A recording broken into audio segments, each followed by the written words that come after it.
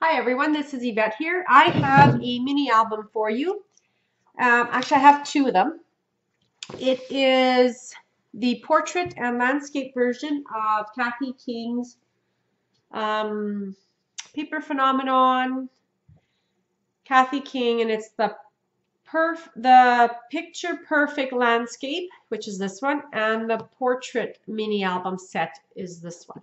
So the paper collections that I used were Carta Bella, and it is Rock-a-bye Baby, uh, the boy version and the girl version. These are new paper collections. They are super cute, and I loved working with them. Um, again, these are um, the Perfect Pick Landscape and Portrait mini album, and they are part of EK17, the November um, the November bonus project. So if you have that kit, you have it already. If not, I will link in the description below the where you can purchase the tutorial. I always buy the tutorial and video combo just in case I struggle with the instructions. Then I can go and watch the videos to help me make my albums. So these two albums are going to be a class that I'm going to teach again at the Scrapbook Cottage. If there's enough interest, we'll do it in Steinbach and in Winnipeg. And of course, I'm in Canada, Manitoba, so um, hopefully you can come to the classes. Um, I always enjoy having uh, seeing you guys all there, and some of the ladies have taken my classes since I, be, I started teaching there, so it's been a lot of fun. And these two mini albums are super cute, a lot of fun, easy to make, and you will enjoy them.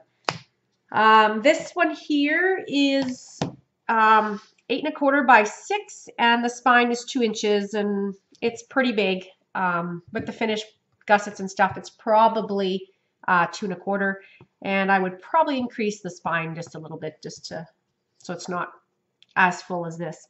Um, the this is the cover. This is a 4x6 cutout uh, from the paper collection. It came with six 4x6 cutouts, and I used all six of them in this book. There is the checkered um, paper is what I used on the spine, and then there's the back.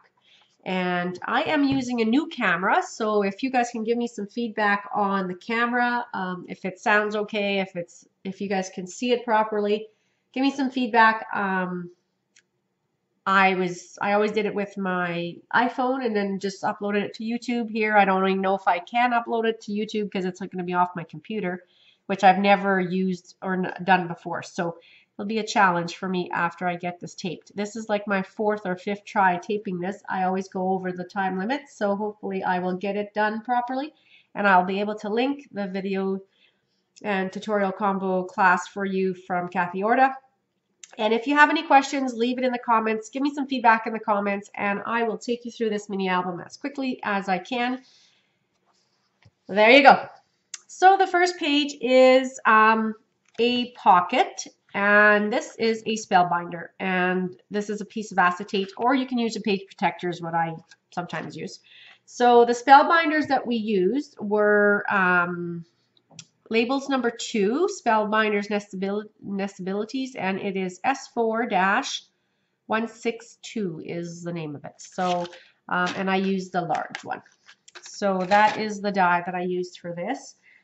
And so we have a flip here, and this is all in the construction of the cover. Um, there's three photo mats here. These uh, photo mats measure four and a quarter by four and a quarter, and the white mat is four by four. And then this is the negative space of that.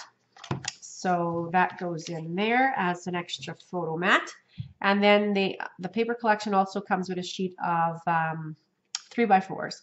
And there's 12 of them in the collection, and I, I used all 12 of them in this mini album. And on the on this side, maybe I'm just going to zoom out just a little bit so you can see the whole mini. And I have a paper clip closure here. And again, this is the construction of the cover.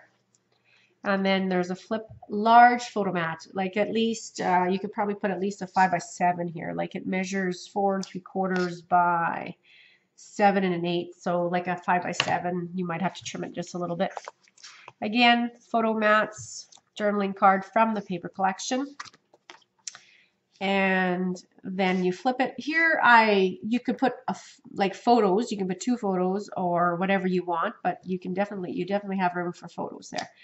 And here she has like it's like a belly band, but it is the the construction of the page, which is super cute, and I love it. These are four by sixes is the white and the black is four and a quarter by six and a quarter. And they fit in there perfect. They, they're a little bit tight, but I think you want that so that they don't fall out. And if they do fall out, then just put a paper clip and hold the pictures in there.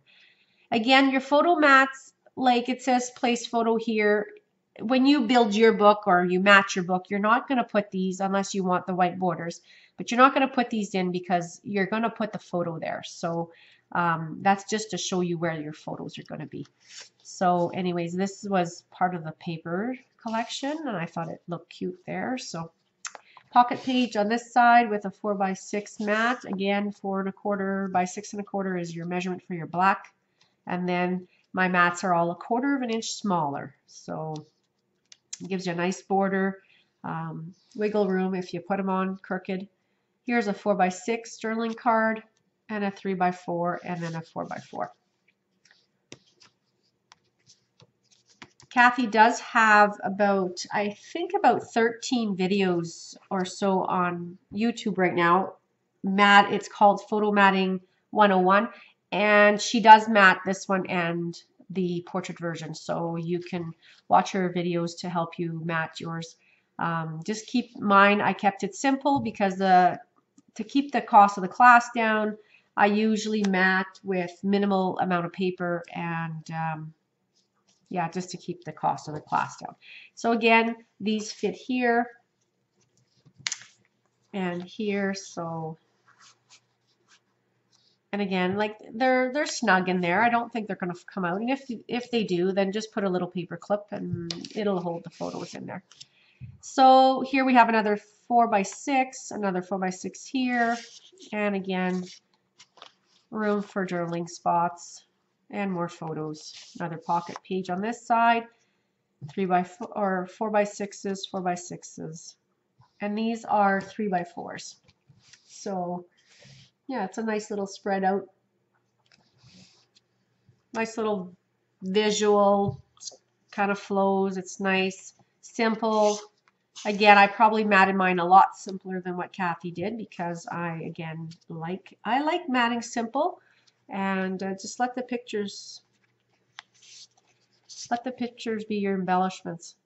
Um, again, and I mean, you can get the ephemera packs and stuff that go with this and you can deck it out even more. But anyways, this is a five by five and three quarters by four and a quarter.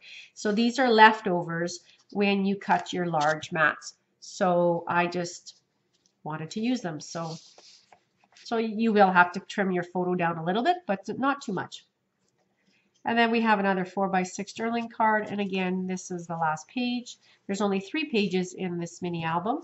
But if you count all the spots where it says photo here, place photo here, and including two mats in each of these belly bands, you will have room for 77 photos in this mini album.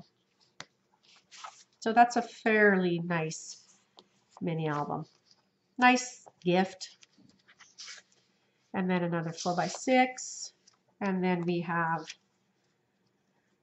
and here I wanted to show you, you could do some 3x3s.